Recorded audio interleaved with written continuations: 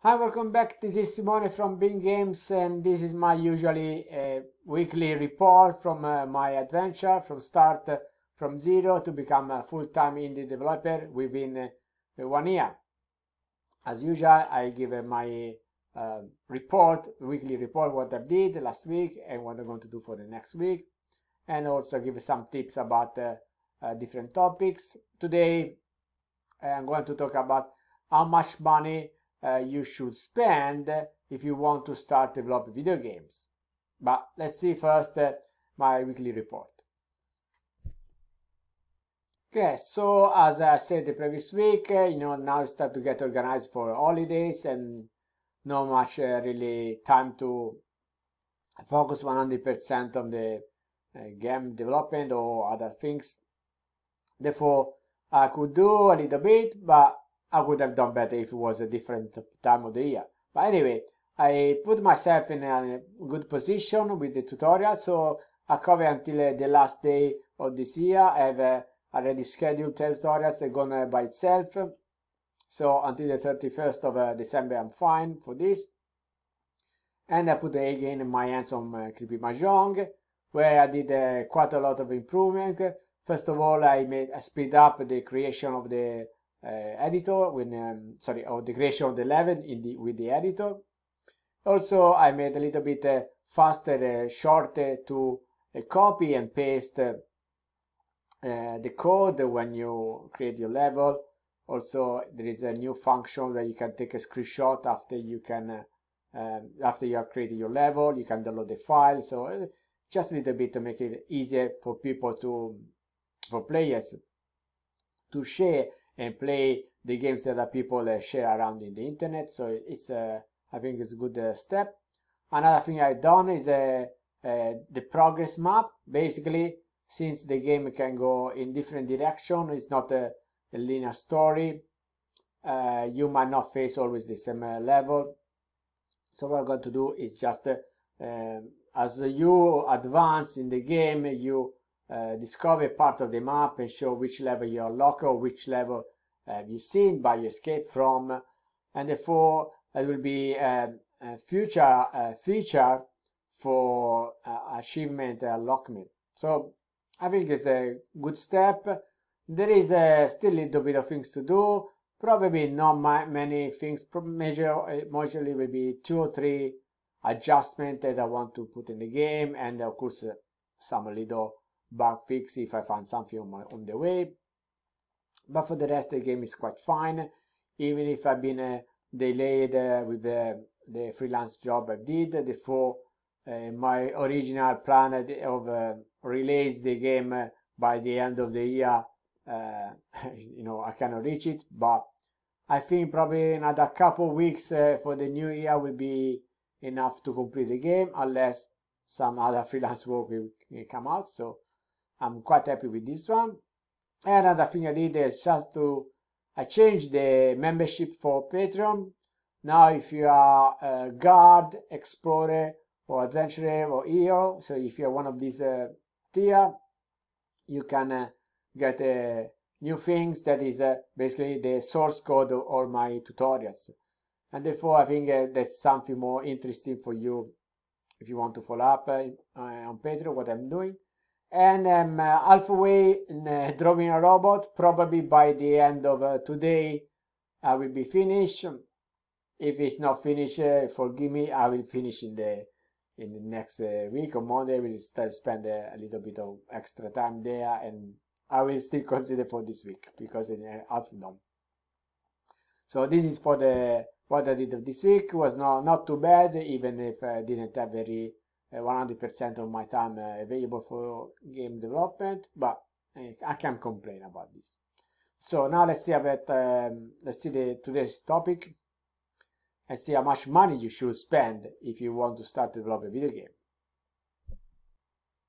So now here we need to distinguish between the people that are absolutely beginners or anyway they know uh, a very little bit about the topic, about the subject they choose to develop to make the become the uh, profession uh, with the person that actually they know already something uh, how to work, maybe how to program a little bit. They know already how to make a graphic. They know already how to make a audio and so on. So therefore, we can divide into different groups. Uh, I will focus on uh, people that are at the very beginning or actually have no skill at all because I guess if you are ready on the other side, you already have your equipment, so you don't need really to follow up much of this uh, uh, suggestion. You know, I already passed that point. So now let's focus about uh, who's uh, starting now. So if you're starting in anything, of course, as we say many times in the past, you're not going to do as much as you will do uh, if you already know the basic. This because you need to study, you need to do your research, you need to uh, put your hands to discover the tools, uh, and many, you know, many things. You can just practice, practice, practice to improve, as someone already have knowledge about the topic, but you need to spend a lot of time, not only in practicing, but also to study.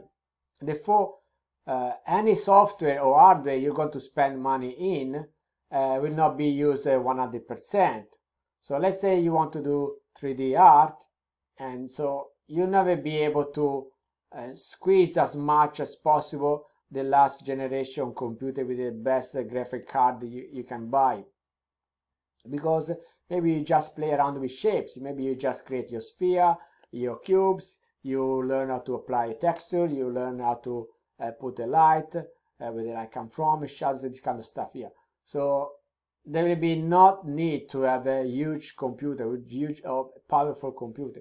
And this comes from my experience because uh, uh, not only as a developer but as a seller because before when I used to have a internet cafe and a computer shop uh, at the same time, we used to, to sell a computer. When someone asks us uh, um, for some um, um, computer to buy, we always uh, put down the list with the specific of the computer they should buy so they can order from us. But we give only 15 days of time basically two weeks of time of um, to confirm the order if they want to process the order. Otherwise we need to make a, a, a new check again because uh, you know nowadays uh, a computer go evolve so fast not only with the hardware but even with the software. So whatever you're going to uh, decide to buy now it's already obsolete in a few months. Or if it's not obsolete of course there is something already much much more powerful.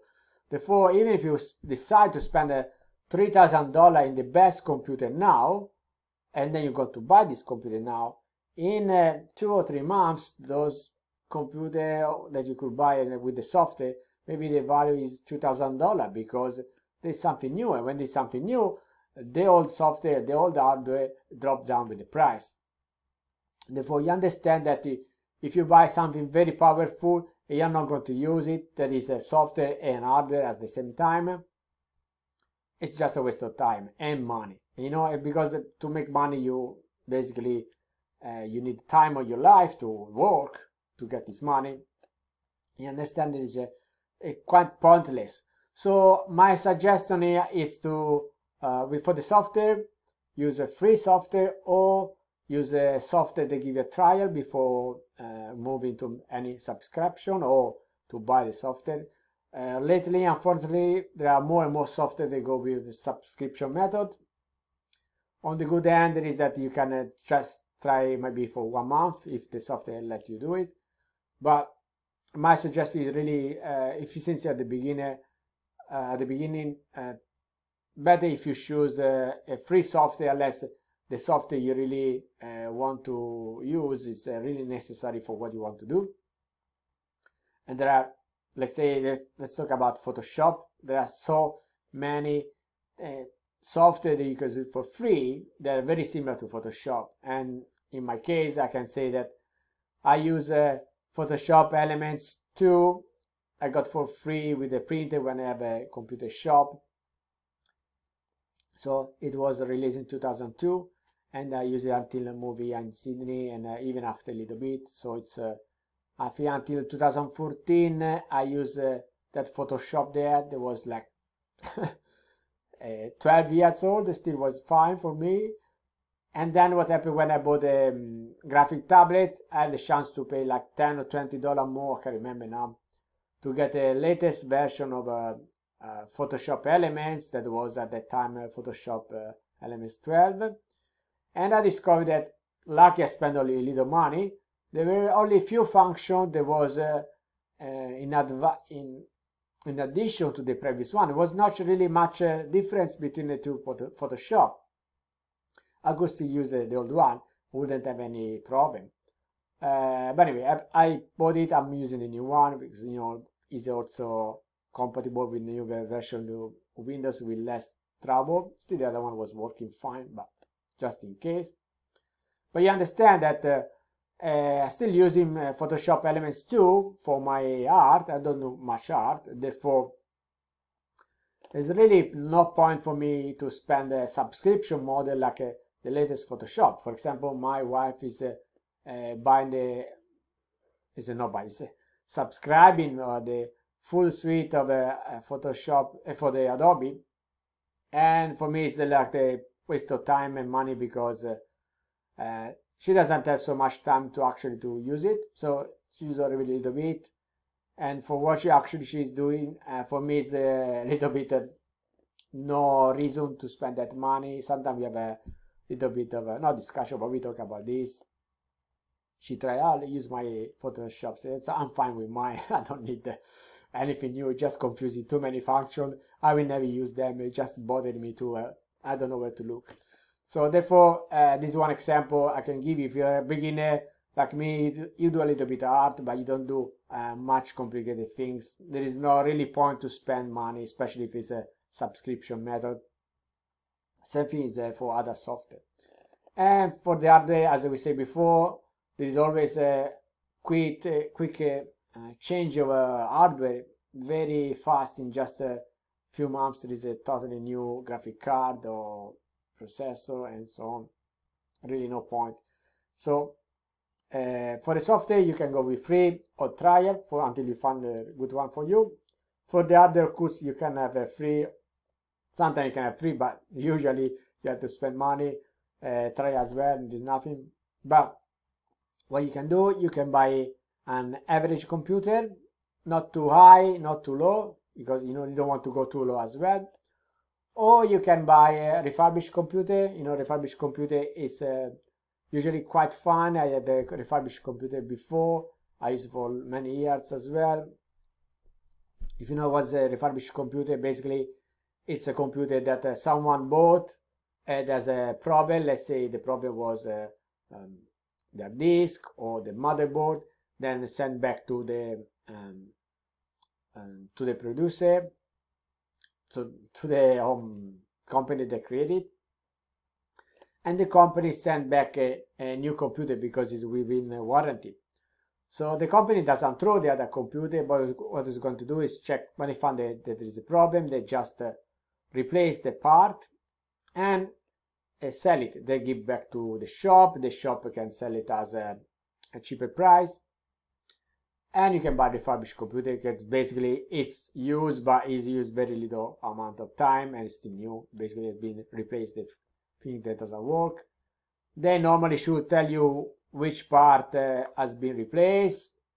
In italy it was in, in this way long time ago nowadays i found out it's a little bit difficult they i mean at least in sydney they don't really want to tell you what was the problem but normally you should be able to understand what's the problem what was the problem. Anyway, still you have a one year warranty. So that's a way to save money. Another way to save money is uh, to look into a second-hand computer. So you save even more money. And if you think about this, it could be a good reason uh, to get a, actually a very good computer as well because uh, there are a lot of gamers. They want always the latest generation computer. And every six months, 12 months, they're going to change something or replace the whole computer because they won't really want to catch up with the technology to have the, the best performance possible for uh, the game. And therefore, they sell the old system, and the system they're selling is actually still a very good computer that you can buy for cheap rather than buy something new. Of course, it's second hand, you need to trust the person or the shop that is selling this uh, computer as a second hand. But uh, you can have um, a good chance to take something very good for very few money. And even there, there are different kind of uh, second-hand product. Have a look and think about what are your skills, what you're going to do, and then when things start to get better, then you can move on. Another thing that you can consider is that uh, while you're studying uh, whatever you're studying, you can consider to make money with these things. Like, let's say you draw pixel art, you can start to draw like uh, some uh, uh, background, like a tile set. You can make some uh, buttons for user interface, and so on. These little things, even if they take uh, time to make money, you can still create, put them for sale, and with the time, they produce some money, and this money you can actually use it to buy the next computer that will be a little bit more professional when actually you reach that level. But until that point, I really suggest you to uh, don't spend money. We really waste a lot of money in things that uh, become obsolete uh, so quickly nowadays. So think well where you're going to spend money because the money you're going to spend, you need to make it somewhere. So it means that you need to keep working more in your actual job or find another job if you don't find a job if you don't have a job to make enough money to buy a big computer and therefore when you do this investment uh, make sure that this investment actually give back some money quickly. There is no point to you to buy expensive computer if you can get money quickly back with that computer. Uh, the only thing I really suggest you to do it, uh, really you can uh, look into it. You can find that in different prices, $20, $30, of course depends where you live. Even if you find second hand, uh, new, uh, don't invest in something new as well. I have a second monitor I have a second monitor, we save a lot of time. Uh, basically, I noticed that I go three times faster having since I have a second monitor compared to when I have only one monitor. Because you don't have to change windows, you don't get lost, you can just have a quick look what's happening here, even if you don't look all the time in the second monitor. That time save you a lot of uh, time, the time, the you have a look. And sorry, mobile. Yeah so i was saying uh, definitely invest that money to buy even a second-hand uh, monitor. It's very useful. I had this uh, second monitor here uh, second-hand it was already old when they gave to me but it's still uh, working fine. It's not the best one uh, it's not perfect but it's fine for this it's doing the job. And it's uh, nine years i have this monitor so it's making a little bit of noise in the background, uh, something like that. But it's okay. If you have a chance, of course, you can buy uh, something better when you uh, when you have better position. But if you're at the beginning, just save as money as possible. But this actually second monitor is a really something that uh, save your time and save your a lot of uh, your life because you can improve your production a lot. Okay, so that's it uh, for this one. Of course, uh, what I say, as I said before, when the uh, time will come, when the you see you reach your limit with the hardware, with the software, you know that you can do much more if you have a better uh, hardware software, then you can uh, to little by little do some changing or just change altogether. Okay, next week, uh, next week is Christmas. And as I got the phone call before, they called me worried. Oh, it's not that you're coming where there was a coronavirus outbreak because uh, it just happened a few days ago uh, in Sydney, in other area of Sydney. So everyone is worried. Uh, start to close things around. If uh, coronavirus doesn't bother us, and if the weather doesn't bother us because it looks like a storm are coming, then I will be away for three days with my family. Therefore, I will not be able to do much. Then after we will come back, it's Christmas. Even there, another day will gone. So what I try to do in camping, uh, uh, I will try to do some uh, drawing of robots, just some uh, mock-up by hand. I don't go to bring computer. I just uh, uh, really want to be away from technology. I can bring, you know, mobile, but this kind of stuff. But I'm not going to use the internet or anything. So I just want to quit just uh, a little bit more into the nature and clear a little bit of my idea. This will give me more time to uh, think about what are the next tutorial I'm going to create in the future and also what I'm going to do after finishing Creepy Mahjong uh, because I have uh, mainly four choices unless I get some uh, uh, extra freelance work that I'm, I'm not planning to have uh, yet. So basically I can have a focus on making new game or if it's not new game I can just take one of the old game I haven't finished and take the chance to complete them as I same as I did with Creepy Mahjong. Or I can create new assets, or I can create new templates, or anyway, focus a little bit on tutorial, maybe a different kind of tutorial. Let's see uh, what's the best uh, things to do for my comeback for the next year. I will see, depend. I will have to think about it. Now I have the chance because when I'm in front of the computer, always here, always internet, always your mind goes out, I have to do something, I have to be productive, I have to do something. I always uh, it's hard to take time to say, okay, I step back and I think, I relax, I think about I look from different perspective, what's uh, my life, where it's going, where my business is going, and you know, and think about and look with a different perspective, look different eye, and therefore I think it will be easier for me to make a better decision. And nothing, I think that's it for now. I take again the chance to thank you, all of you that support me on Patreon because you, as usual, you know, you sponsor this uh, video here, the, my diary and my tutorial, whatever I'm doing on YouTube because all the time I'm investing here, I don't make any money. This is not advertising anything, at least at this stage I'm talking now. And therefore, uh, this helped me really to, to don't waste uh, it's not wasted, but say to be a little bit profitable uh, with these videos. Yeah, so thank you again for what you're doing. And if you want to join me, as I said before, there are new options now in addition to all the things I gave you before uh, to subscribe and on my Patreon and to get benefits. So basically, you start from a simple basic tier where I could, I could say say thank you to you very much. You can access to some uh, reserved post and you can uh, vote on the polls and then there are other tiers where you can access to uh, my assets template uh, work in progress game source code as i said before or the my tutorial from next year and, and so on many other things so if you really want to support me and you want to get something in exchange because of course it will be cheaper than buy them directly so you can have a assets and templates directly from there. So uh, thank you again if you want to support me. If you cannot, uh, please uh, uh, help me sharing this video around and that's it. I really appreciate whatever you do. It doesn't really matter for me. It depends on what your pocket you do as you think you best. Thank you again and see you next week. Bye.